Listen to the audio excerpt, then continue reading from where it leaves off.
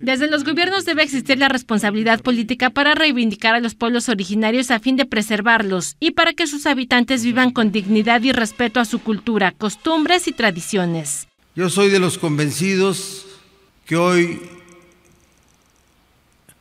lo que somos, los mexicanos, las mexicanas, debemos de vernos como la mezcla exitosa, el mestizaje exitoso. Mestizajes de mezcla de dos razas, la europea y la indígena. Que no somos ni una ni otra,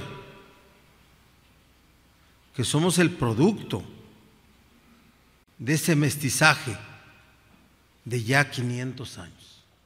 Al presidir la ceremonia conmemorativa del 529 aniversario del Día de la Hispanidad desde Casa Aguayo, el Ejecutivo Estatal dijo que los gobernantes deben actuar siempre en favor de los pueblos indígenas y de toda la sociedad a la que gobiernan. Y sintámonos orgullosos de nuestro origen,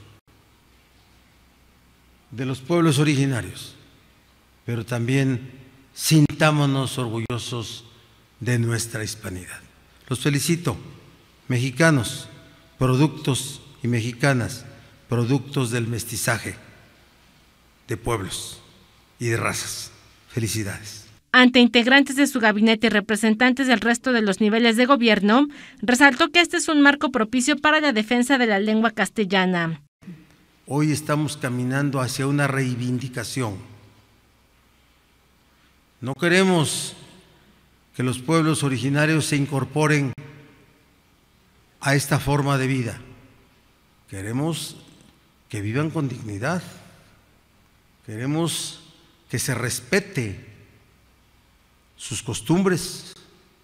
Además resaltó que fechas como el Día de la Hispanidad hacen que se tengan presentes los acontecimientos que fueron determinantes en el destino de lo que hoy es México. Para hacer noticias informó Miriam Espinosa.